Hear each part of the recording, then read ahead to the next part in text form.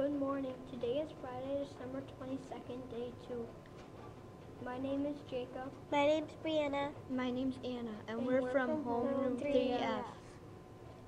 The lunch menu for today is Christmas chicken nuggets with barbecue sauce, snowball with holiday sauce, reindeer dinner roll, streamed green Christmas trees, festival fruit choice, Christmas cookie, cranberries.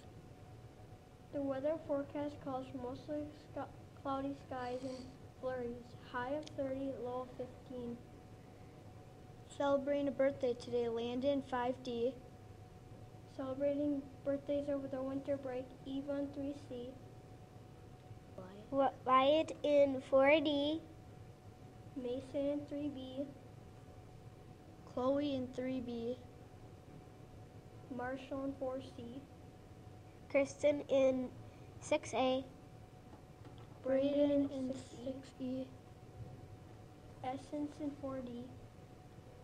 H- Haley in 6B. Abby in 6D, Ethan in 6C. Ava in 6B. And and Elisa's, Elisa's in 6D. Happy birthday, everyone.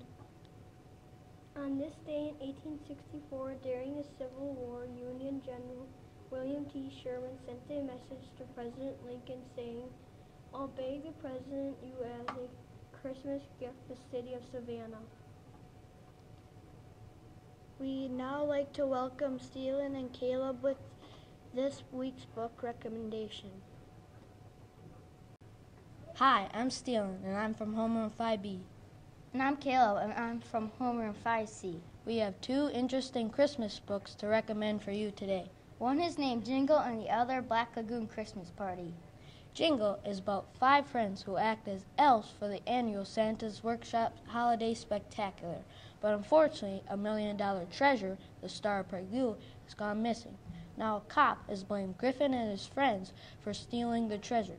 Griffin and his friends have to prove that they didn't do it by finding the thief. Plus, they get in a little trouble as well. To find out more, check out this book.